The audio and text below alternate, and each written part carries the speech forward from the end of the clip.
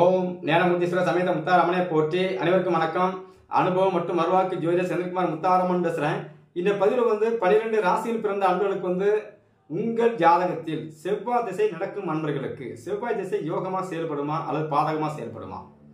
முதல்ல வந்து செவ்வாய் திசை ஒருத்தருக்கு நடக்குது அப்படின்னாலே கண்டிப்பாக அவருக்கு வந்து செவ்வாய் திசை ஆரம்பிச்ச உடனே வந்து போலீஸ் ஸ்டேஷன் சம்பந்தப்பட்ட இடங்களுக்கு கூப்பிட்டு கூட்டு போயிட்டு தான் வீட்டில் கொண்டு உட்கார வைக்கும். உட்காரப்பா அப்படின்ட்டு. ஏன்னா செவ்வாயின் தன்மை அது.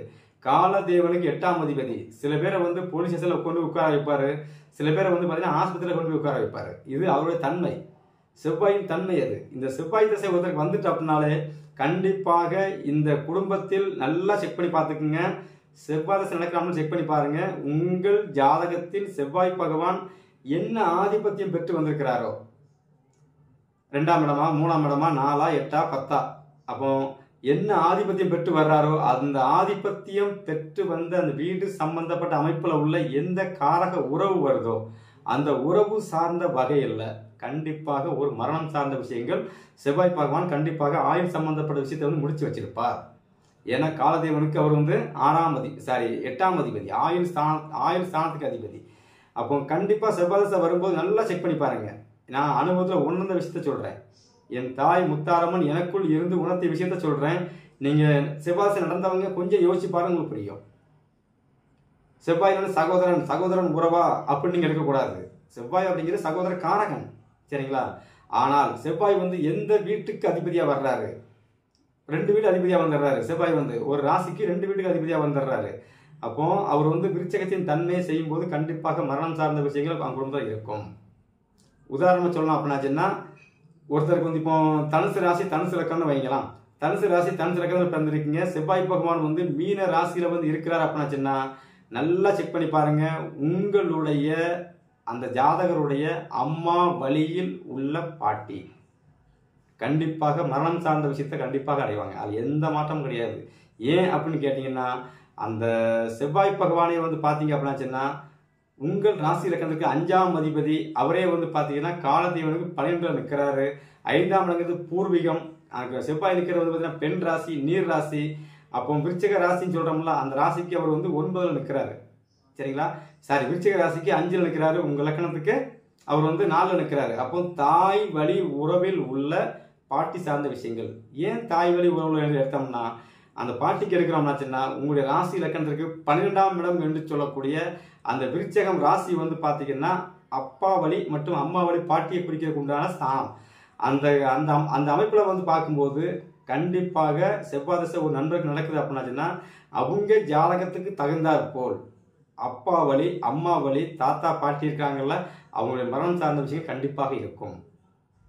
இது தனுசு ராசி தனுசு லக்கணத்துக்கு இப்படி ஒவ்வொரு ஜாதகத்துக்கும் நம்ம எடுத்து பார்த்தோம்னா கண்டிப்பாக அந்த ஸ்தானம் வந்து எந்த ஆதிபத்தியம் பெற்று வருதோ தாய் மாமனார் அதில் சின்ன மாமனாரா பெரிய மாமனாரா தாத்தாவா பாட்டியா பெரியப்பாவா சித்தப்பாவா? சரிங்களா? சித்தப்பா வீட்டோட குழந்தைகளா அப்படிங்கிற விஷயம் எல்லாமே வந்து பார்த்தீங்கன்னா அந்தந்த ஜாதகத்தில் அப்படி இப்படி கரெக்டாக கச்சிதமாக உட்காந்துருக்கும் அப்போ செவ்வாய் தசை வரும்போது கண்டிப்பாக இது சார்ந்த விஷயத்தில் வந்து ஒரு விஷயம் வந்து அரங்கேறிடுது. அரங்கேறுங்க அப்புறம் தாங்க அது வேலையே செய்யும் செவ்வாய் தசையை உதாரணமாக சொல்கிறேன் எனக்கு விருச்சிக ராசி விருச்சிக இலக்கணம் எனக்கு வந்து பார்த்தீங்க அப்படின்னாச்சுன்னா செவ்வாய் வந்து ஒன்றுக்கும் ஆறுக்கும் அதிபதி. அவர் ஒன்பதுல போய் நிற்கிறாரு. செவ்வாய் தசை வந்து இருபது நாள் ஆகும்போது அவரே வந்து செவ்வாய் தசை வந்து செவ்வாய் வந்து ஒன்பதுல நிற்கிறாரு. இருபது நாள் ஆகுது எங்கள் அப்பா ஹார்ட் அட்டாக்ல இறக்குறாங்க. அப்போ ஒன்பதாம் இடம் ஒன்பதாம் இடத்துல நிற்கிறால அப்பா சாணம் சம்பந்தப்பட அடிபட்டு போச்சா? அவரே வந்து ஆறாம் அதிபதியாகி ஒன்பதுல நிற்கிறாரு. அடுத்து எங்கள் அப்பா இறந்து மூணு மாசத்துல தாய் மாமனும் இறக்குறாரு. ஏன் அப்படின்னா எனக்கு புதன் நட்சத்திர சாதத்தில் வந்து நிற்கிறனால புதன்னா ரெண்டு ச- ரெண்டு சம்பவங்கள். அவ்வளோதான் புதன் சம்பந்தப்பட்ட அமைப்பில் நிற்கிறனால ரெண்டு சம்பவம். மற்ற நட்சத்திரங்கள் இருக்கும்போது சிங்கிளாக இருக்கும் அவ்வளோதான் அப்போ இதெல்லாம் அரங்கேறதுக்கு அப்புறம் தான் அந்த செவ்வாய் வேலை செய்யும். அது வேற அது வேற வேலை செய்யுமான்னா வேலையே செய்யாது. ஆனால் வந்த உடனே வந்து ஒரு இருபது நாள் பத்து நாள் வர்றதுக்கு ஒரு நாலு நாளைக்கு முன்னால் ஒரு மாதத்துக்குள்ளே அந்த விஷயத்தை அதை அரங்கேறாமல் அது போகவே போகாது. அரங்கேறினா தான் அது வேலை செய்யும். இது ஜாதகருடைய அமைப்பு. இப்படி ஒவ்வொரு ஜாதகத்தையும் பொருத்தி பார்த்துக்குங்க. சரிங்களா? தெரியாதவங்க கால் பண்ணி கேளுங்க கரெக்டாக சொல்கிறேன் உங்களுக்கு வந்து குழப்பமாக இருக்குது அப்படின்னாச்சுன்னா உங்கள் ஜாதகப்படி நீங்கள் எனக்கு சொல்லுங்கள் நானே உங்களுக்கு தெளிவு பண்ணுறேன் உங்களுக்கு. சரிங்களா? சரி இந்த மாதிரி அமைப்பு இருந்தால் நீங்கள் என்ன பண்ணலாம்? என்ன வழிபாடு பண்ணலாம்? என்ன வழிபாடு பண்ணும்போது ஜெயிக்கும் இதில் வந்து நம்ம கோவில் வழிபாடு அப்படிங்கிறத எடுக்க வேண்டாம். கோவில் வழிபாடு அப்படிங்கிற நிறைய கொடுத்துருக்கேன். முருகன் கோவில் வழிபாடு செவ்வாய் வந்து ஆண் ராசியில் இருந்தால் முருகன் வழிபாடு பெண் ராசியில் இருந்தால் காளியம்மன் மாரியம்மன் இந்த மாதிரி வழிபாடுகள். சரிங்களா? அதே சனி பார்த்தால் காவல் தெய்வங்கள். சரிங்களா? குரு பார்த்தா குழந்தை வடிவில் இருக்கும் தெய்வங்கள். புதன் பார்த்தா புதன் பார்த்தாச்சுன்னா அப்படின்னாச்சுன்னா குருவாயூர் இந்த மாதிரி நிறைய விஷயங்கள் இருக்குது. அது கோவில் வழிபாடுகள். வீட்டில் உள்ள வழிபாடு அப்படின்னு பார்த்தீங்க அப்படின்னாச்சுன்னா இந்த திசையை ஆரம்பிக்கும் பொழுது எந்த உறவு உங்கள் குடும்பத்தை விட்டு உங்களை விட்டு பிரிஞ்சு விலகி போகுதோ உயிர் இல்லாமல் இறைவன் இறைவனடி சேருதோ அந்த உறவை நினச்சி நீங்கள் வீட்டில் வச்சு வழிபாடு செய்யுங்க. கண்டிப்பாக செவ்வாய் தசை சூப்பராக வேலை செய்யும். இடம் சார்ந்த விஷயங்கள் நிலம் சார்ந்த விஷயங்கள் சகோதர ஒற்றுமைகள் குடும்பத்தில் பிரச்சனை இல்லாத வாழ்க்கைகள் நிம்மதியான வாழ்க்கைகள் எதையுமே போல்டா தய நம்ம வந்து எதையும் அடிச்சு தூக்கி வெளியே வெளியே போட்டு நம்ம சேர்த்து வந்துடலாம்டா அப்படிங்கிற மனநிலையை எல்லாத்தையும் அது கண்டிப்பாக உருவாக்கி கொடுக்கும். செவ்வாய் சார்ந்த விஷயங்கள் கண்டிப்பாக சிறப்பாக இருக்கும். ஏன்னா செவ்வாதசை வந்த உடனே அந்த விஷயம் இறங்கிடுது. செவ்வாதசை வந்ததுக்கு அப்புறம் தான் இந்த அந்த அரங்க அந்த எங்கள் அப்பா கர்மக்காரில் கலந்துக்கிட்டு போயிட்டு வந்ததுக்கு அப்புறம் தான் எனக்கு வந்து இந்த யூடியூப் சேனலில் ஒரு சின்ன மாற்றங்கள் அடுத்தடுத்து தொழிலில் ஒரு மாற்றங்கள் அடுத்த ஸ்டெப்புக்கு போகிறேன் ஏன்னா செவ்வாய் இப்போ தான் ஆரம்பிச்சிருக்கு ஒன்றரை வருஷம் தான் ஆரம்பிச்சு. என்ன ஏன்னா அஞ்சு வருஷம் இருக்குதுல்ல?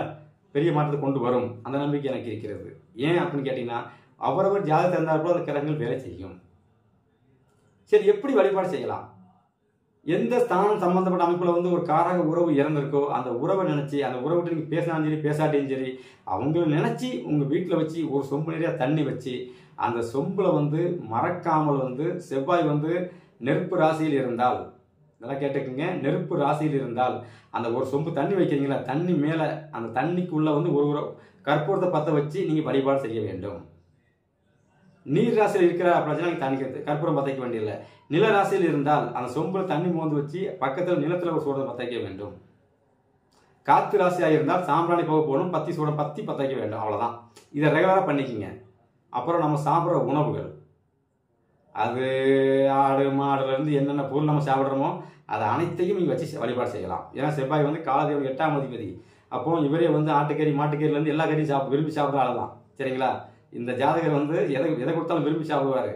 செவ்வாய் வரும் காலங்களில். அப்போ இதை வச்சு நீங்கள் வழிபாடு செய்யுங்க. அப்போ தண்ணி வச்சு வழிபாடு செஞ்சுட்டு சாப்பிட்ற நேரங்களில் கொஞ்சம் சாப்பாடு வச்சு ஒரு- நீங்கள் சாப்பிட்ற தட்டில் போட்டு வச்சுட்டு ஒரு ரெண்டு நிமிஷம் மூணு நிமிஷம் கழித்து அந்த சாப்பாடை எடுத்து நீங்களும் சாப்பிடுங்க. உங்களுக்கு வந்து இந்த செவ்வாதசை யோகத்தை கொடுக்கும். தோஷத்தை செய்யாது. அதே சமயத்தில் அந்த தண்ணியை எடுத்து நீங்கள் குடிக்கலாம் வீட்டை சுற்றி தெளிக்கலாம் குளிக்கிறதுக்கும் பயன்படுத்தலாம். இப்படி தொடர்ச்சியாக நீங்கள் பயன்படுத்தி வந்துகிட்டே இருங்க. செவ்வாய் தசை உங்களுக்கு வந்து மிக சிறப்பான யோகத்தை கொடுக்கும்.